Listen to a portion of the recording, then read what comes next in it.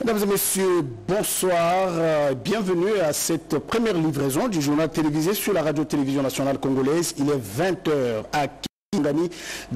Passé de quelques minutes à Kinshasa, nous ouvrons ces avec cette de l'aéroport international de Bangoka.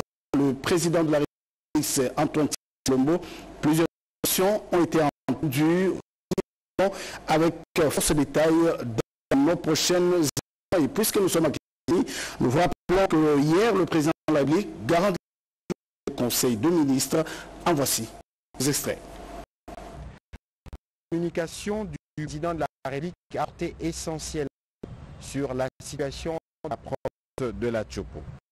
Voir un du suivi d'ouvrages réalisés dans la ville qui s'en gagne.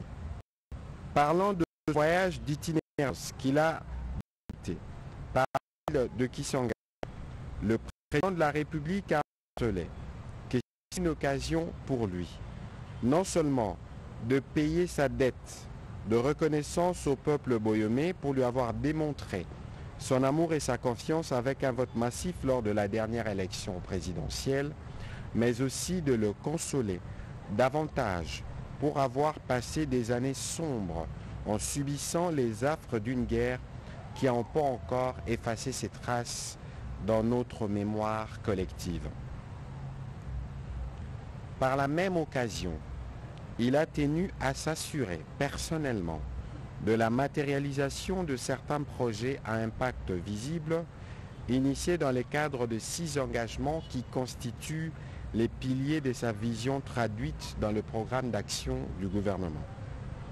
Sans être exhaustif, exhaustif il a évoqué d'importants ouvrages tels que l'aéroport de Bangoka, les travaux de réhabilitation de la voirie urbaine de Kisangani, compris dans le programme présidentiel accéléré de lutte contre la pauvreté et les inégalités, la réhabilitation de la route de l'aéroport, la relance de la centrale hydroélectrique de la Chopo et autres. À ces propos, aussitôt après son arrivée à Kisangani, le mercredi 23 octobre 2024, le président de la République a demandé au gouverneur de veiller à l'exécution rapide des travaux de rénovation et modernisation du stade Lumumba afin de permettre à notre jeunesse d'être plus épanouie et de faire valoir ses talents sportifs. S'agissant particulièrement de l'aéroport international de Bangoka, il a souligné qu'après son inauguration, ces derniers s'inscrira naturellement dans l'ouverture de notre pays au monde extérieur et pourra également générer des emplois sûrs pour nos valeureux fils et filles de la Chopo. Au regard de l'importance de tous ces ouvrages, sous la coordination de la Première ministre, le président de la République a instruit tous les ministres qui interviennent dans la chaîne d'en assurer la nécessaire pour établir un à ceux. Il s'avère donc qui régulièrement sur mensuel des rapports des produits. Une équipe constituée des membres de l'ABINE, du gouvernement central et provincial, ainsi que de l'inspection générale des finances, s'applique à ces missions de suivi de différents ouvrages. Le rapport de suivi est le programme d'action devront une base mensuelle régulière. Et pendant ce temps, puisque nous sommes encore à Tsingani, le ministre du Travail et de l'Emploi a été accueilli par le militant de son parti politique. En voici le récit de William Nakov sur son arrivée à Kisangani. Les cadres militants et militants de l'AFDC, l'Alliance des forces démocratiques du Congo, se sont rendus massivement à l'aéroport international de Bangoka pour accueillir l'un de leurs élevé en dignité par le chef de l'État comme ministre de l'Emploi et du Travail.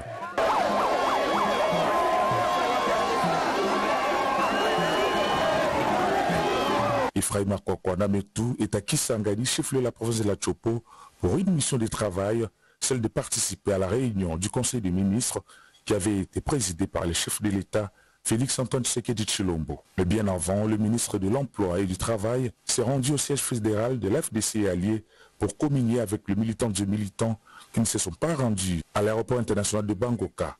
Sur place, le ministre Faïm Makwakwa a remercié les cadres, militants et militants de ces partis politiques, chef au sénateur Modeste Bati Lukwebo, pour la mobilisation et l'accueil réservé au chef de l'État, Félix Antoine Sekedi Chilombo.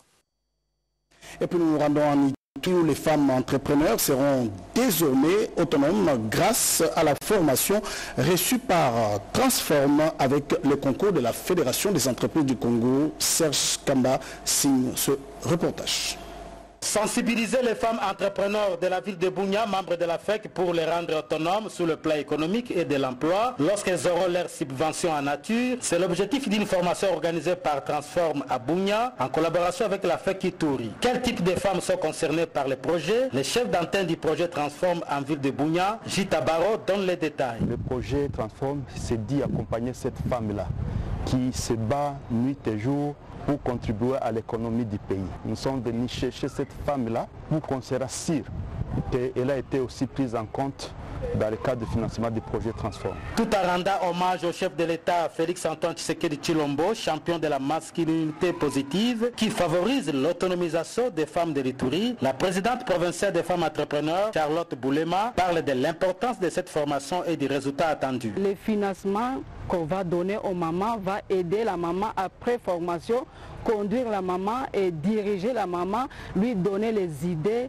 de travailler avec les fonds qu'on va lui donner. Le président provincial de la Ituri, Christophe Lonema Batsimukwa, encourage cette initiative qui boostera l'esprit d'entrepreneuriat au sein d'autres femmes. Le projet Transforme Vie pour les appuyer, la FEC encourage cette initiative. Quand les mamans se démènent, les papas se démènent aussi, ça donne au foyer quelque chose de bien. Signalons que 14 640 femmes seront prises en compte dans l'ensemble de la province de l'Itourie dans ces projets d'autonomisation qui s'arrêtera à 2027.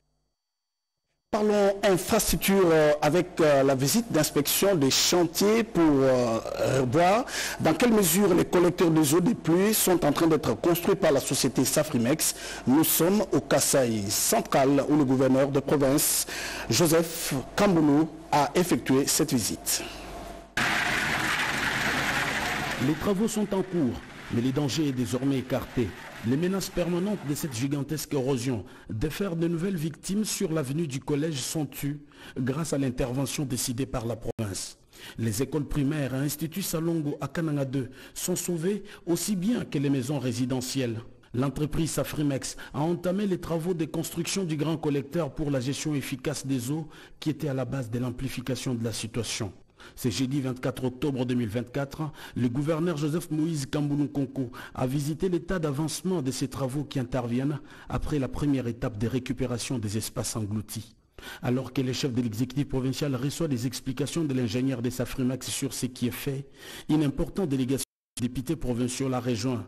Conduit par Papi Noël Kankou, vice-président de l'organe délibérant de la province, ces élus du peuple ont vivement félicité le gouverneur Joseph Moïse Pour la clairvoyance et le leadership proactif au service de ses concitoyens. Parmi eux, Zachary Bababa Sowichie, qui garde des souvenirs merveilleux des écoles Salongo où ont étudié plusieurs de ses contemporains. L'élu de Demba s'est engagé à initier des démarches de plaidoyer pour des contributions volontaristes en faveur de ces écoles. Les populations du coin, jadis s'inquiètent pour la progression de cette érosion, n'ont pas tari d'éloges à l'endroit du gouverneur Joseph Moïse Kamboulou Konko. Pour le chef de l'exécutif provincial, le bien-être de son peuple est une préoccupation de sa gouvernance. Bonne nouvelle pour les chargeurs. Le président de la République, Félix Antoine Tshisekedi Chilombo, va lancer le mercredi prochain les travaux du comité de chargeurs de l'Union des conseils de chargeurs africains. Bonne nouvelle pour les opérateurs économiques des secteurs des transports et du commerce extérieur. Kinshasa abritera à Fleuve Congo Hôtel du 30 octobre au 1er novembre 2024 sous le haut patronage du chef de l'État les assises de la première session ordinaire de l'année 2024 de l'Union des conseils des chargeurs africains UCCA, un organe spécialisé de l'Organisation maritime de l'Afrique de l'Ouest et de l'Afrique centrale regroupant 19 pays membres dont la RDC avec l'OGFREM sous la houlette du DG manager William Kazumba Mayombo. Mesdames et messieurs les chargeurs congolais, j'ai le plaisir de vous annoncer et confirmer la tenue à Kinshasa, capitale de la République démocratique du Congo, notre pays, du 30 octobre au 1er novembre 2024 au fleuve Congo Hôtel sous le haut patronage de son Excellence Monsieur Félix Antoine Tshisekedi Chilombo, président de la République, chef de l'État, des assises de la première session ordinaire de l'année 2024 du comité directeur l'Union des conseils des chargeurs africains, UCCA en sigle. Cette organisation à vocation panafricaine, dont le siège est basé à Douala au Cameroun, a entre autres commission objectif de défendre les intérêts des chargeurs africains auprès des institutions nationales et internationales, encourager le commerce intra-africain et faciliter les échanges entre les pays membres. Alors que Kinshasa a déjà abrité avec succès en 2008 et en 2020, respectivement, les réunions du comité directeur et de l'Assemblée générale de l'UCCA. C'est une très bonne nouvelle pour les de la province du Kassai. La rivière Lounieke, nous sommes dans cette province, recevra bientôt un pont moderne don du président de la République. La population de ces coins vivant à Kinshasa remercie le garant de la nation pour ces dons précieux. Ils sont à Kinshasa, la capitale, mais les intérêts de leur province sont suivis au quotidien. Un pont sera jeté sur la rivière Lunieka, sur instruction du président de la République Félix Tshisekedi. À la livraison de la nouvelle, les ressortissants du secteur de Lunieka, province du Kassai, se sont réunis ce mardi à la place Matongé à Kinshasa pour remercier le chef de l'État pour ses projets sociaux en faveur de la population de Lunieka. Présentons avec sentiment le plus déférent nos vifs remerciements au président de la République, chef de l'État, et lui promettons le soutien inconditionnel de toutes les filles et fils du Kassai Lunika. Nous tenons à féliciter nos leaders politiques pour leur lobbying auprès du gouvernement central pour la livraison de cet ouvrage d'intérêt général. En l'occurrence, le ministre national de la Pêche et l'Élevage, Jean-Pierre Chimangabwana, les gouverneurs de notre chère province, Maître Kisper Mukendi Bukasa, ainsi que tous les honorables députés nationaux et sénateurs du Kassai. Les notables de l'Unieka vivant à Kinshasa refusent la récupération politicienne pour s'approprier cette œuvre don propre du chef de l'État. Les ponts Lunieka figurent parmi les 100 ponts que le gouvernement central a prévu sur les différentes rivières du territoire national dans le cadre du programme de développement local de 145 territoires. Notre vol informationnel atterrit dans le Lualaba où le coordonnateur provincial de l'environnement, lui, a reçu un prix dénommé euh, le prix spécial Congo Lipanda. Notre confrère Serge Mata a suivi pour nous cette cérémonie. Cette distinction lui a été attribuée par la délégation des Congo Lipanda lors de son passage à Kolwezi. C'était au cours d'une brève cérémonie organisée dans les installations de la coordination provinciale du ministère de l'Environnement, section Lualaba, et ce, en reconnaissance de son sens élevé du patriotisme et de son dévouement à la mise en application des instructions de la haute hiérarchie, la remise du prix spécial Congo Liponda, édition 2024, au coordinateur provincial de l'environnement du Lualaba, Henri Kabongé Kajungu, a été effectué par le président exécutif de cette structure, en la personne de Ben Mbedi. Dans son allocution, le coordinateur provincial de l'environnement du Lualaba a exprimé sa gratitude envers les présidents exécutifs des Congoli Ponda. Cet événement a connu la participation de cette coordination provinciale des ministères de l'Environnement, section Lualaba. Retour à Kinshasa où notre consoeur Yvette Makuntima nous amène à l'école informatique de finance. Ce matin, ils ont lancé euh, le test d'admission.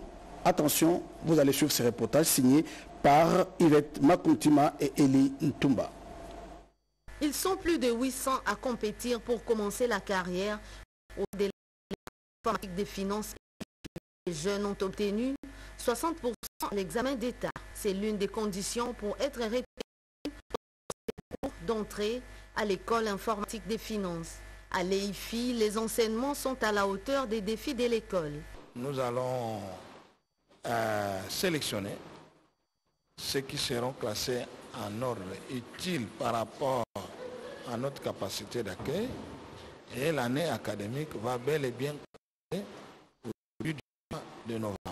Un limité parce que nos locaux sont disposés et ce sont des locaux qui sont aménagés. Le deuxième élément, ce sont les laboratoires. Et parce que ici, la formation en informatique à l'EIFI, c'est une formation euh, professionnelle. Et l'accent est mis sur la pratique. Donc euh, les étudiants euh, font beaucoup de pratiques au laboratoire. Et donc nous limitons aussi les nombres par rapport à la capacité d'accueil de nos laboratoires. Créée en 1970, l'école informatique de a comme formation principale l'informatique de gestion avec deux options notamment analyse et programmation, ingénierat et conception.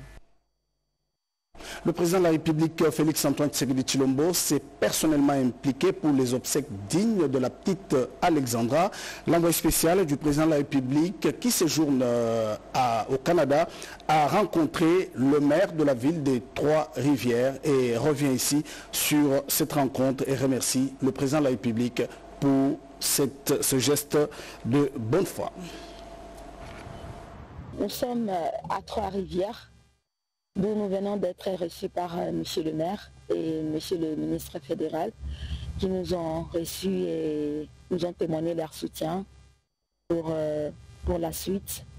J'aimerais personnellement remercier le chef de l'État et la distinguée Première Dame d'avoir euh, honoré à leur promesse de pouvoir nous faire venir ici pour pouvoir poursuivre l'enquête et suivre tout ce qui va se passer ici.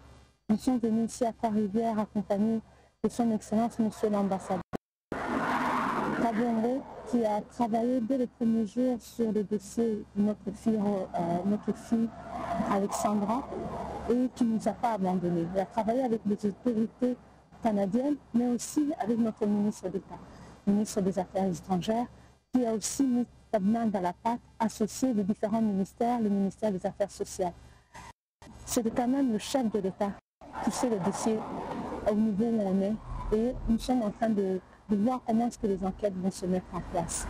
Et nous remercions surtout, la communauté, la communauté congolaise, afro-canadienne, pour le soutien qu'ils ont amené, qu'ils ont donné pour euh, notre très chère Alexandra, qui était déjà intégrée dans la communauté euh, canadienne, qui avait déjà un aussi qui participent à des, actions de bénévolat. On continue notre chemin et, euh, on cherche à avoir des résultats à, nos questions.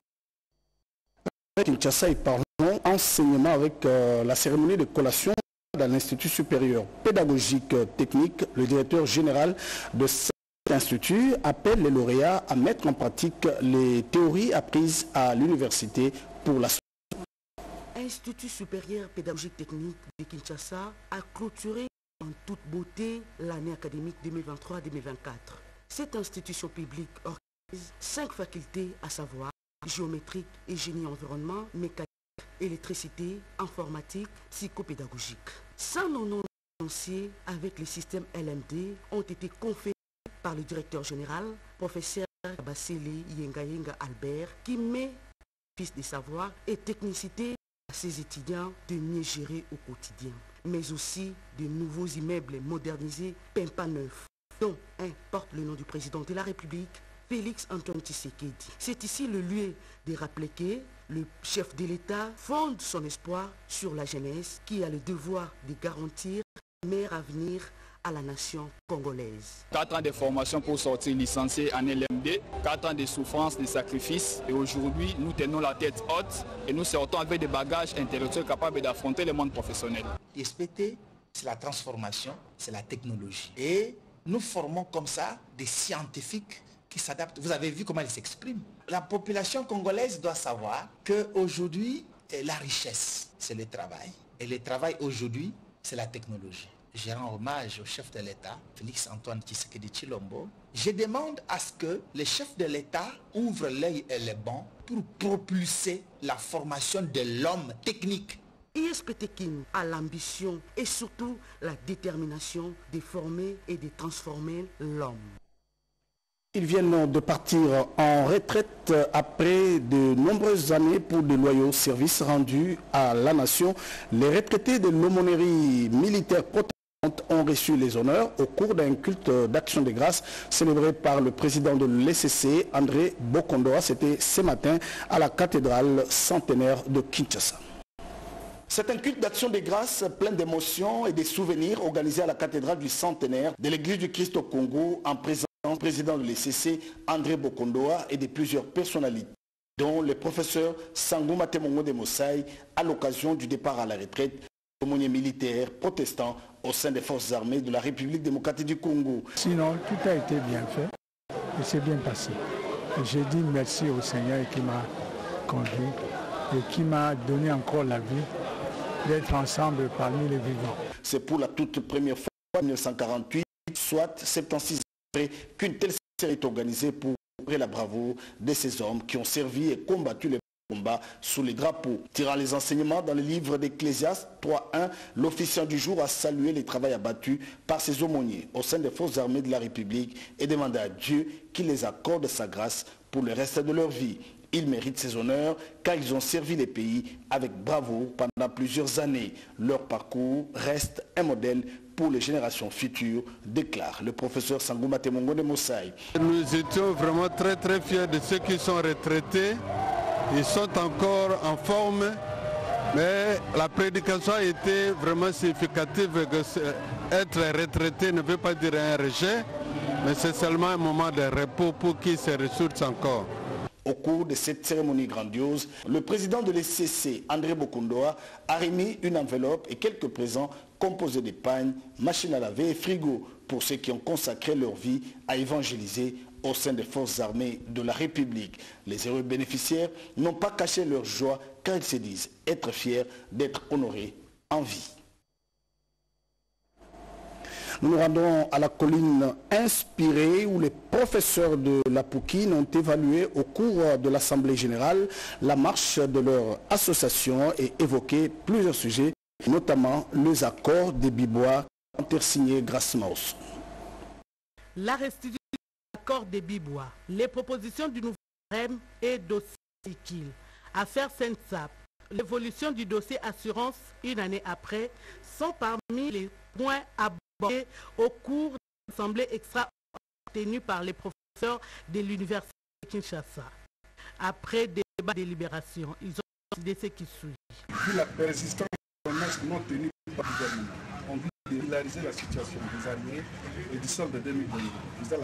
L'aspiration du pouvoir d'achat des professeurs, tel que convenu dans l'accord de 2001, ainsi de son assemblée générale extraordinaire, tenue ce jeudi 24 octobre 2024, en son siège. L'association de professeurs du lycée de Kinshasa a pris les révolutions suivantes. Primo, le lancement d'un ultimatum de deux semaines après la feuille du mois d'octobre 2024 pour voir la concrétisation de cette Une assemblée générale sera convoquée après cette période pour la réévaluation et la prise des décisions qui s'imposent, ont-ils conclu. Et pendant ce temps, notre consoeur Chimène Dondo nous amène dans le Haut-Katanga où la rétrocommission des minéraux dans le territoire de Kambov a servi de construction de bornes frontaliers. La chef de secteur de Loufira, Emea Kiamabamba Ruth, a procédé à l'inauguration de quelques écoles, postes de contrôle et perception de taxes, trois bornes fontaines et enfin, elle a réceptionné 360 bancs pour doter quelques écoles dans le territoire de Kambové, dans la province du Haut-Katanga, précisément dans le village des Mwadingoucha, Kapotela et Kaskete, pour ne citer que cela. Je tiens tout d'abord à vous remercier pour votre présence en ce lieu pour la cérémonie officielle marquant l'inauguration de l'épée d'oiseau et l'Institut Koni dans le groupement Lukoshi, laquelle cérémonie marque le profond amour que nous avons pour la cause de l'amélioration de l'éducation de nos enfants, futurs dirigeants de la République démocratique du Congo. De ce fait, je ne serai pas mon propos sans saluer l'implication du président de la République démocratique du Congo, chef de l'État, son Excellence Monsieur Félix Tshisekedi Tibétan. milite nuit et jour pour la paix, la concorde et le développement de notre beau pays. Cette inauguration rentre dans le programme de développement de chaque secteur de la République démocratique du Congo pour le bien-être et social de la population. Diokatanga, nous allons atterrir dans la province de Lomami, devoir de redevabilité. Le président de l'Assemblée provinciale, lui, est rentré à sa base pour faire la restitution de ses vacances parlementaires. Tout a commencé vendredi 4 octobre 2024. Lulu a entamé son marché des vacances parlementaires par le de Bekaleboué en vrai représentant de la population. Tilolo lui a écouté les différentes couches de la population, venu lui transmettre leurs desiderata. Manque d'infrastructures routières, sanitaires, l'eau potable, la mécanisation des enseignants et manque de bon réseau de communication. Voilà en résumé le problème que connaît cette entité, d'autres qu'il a eu à visiter. Et ces problèmes nécessitent aussi l'implication de cet élu. Comme élu, j'ai demandé à ma population de cultiver la paix, de cultiver l'amour, de ne pas s'amener en justice à tout moment. Et surtout, ce qui pose problème, c'est les conflits de pouvoir coutumiers qui barrent corps surtout à Lubao. Et ce conflit de pouvoir coutumier est bien préparé par les politiciens. Oh non, quand elle voit que non, il faut déstabiliser tel chef à ma faveur, alors il le fait. Alors, j'ai demandé à la population de revenir au bon sens.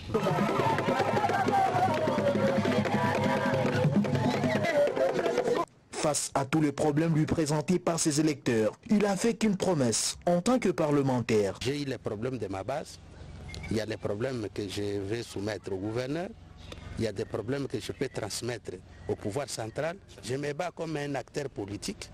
Signalant que ces marathons a coûté au speaker de l'Assemblée provinciale de Lomami 12 jours pour sillonner tous ces villages qui se sentaient oubliés par d'autres élus. Merci de votre fidélité. Euh, restez branchés sur la radio-télévision nationale congolaise. Les informations reviennent dans quelques minutes avec euh, Gaëta Mag Magalano qui vous présentera la grande édition de 20h. Et merci à tous les téléspectateurs qui nous suivent à partir de Kisangani. Ça sera avec le même plaisir que je vous retrouverai la semaine prochaine.